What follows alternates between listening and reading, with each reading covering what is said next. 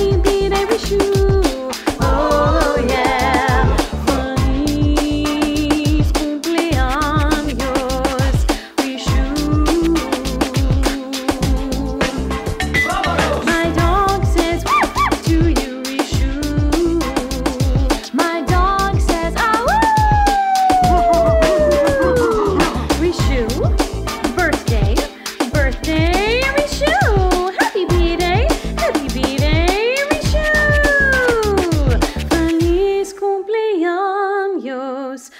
true. Yeah. One happy birthday dot com.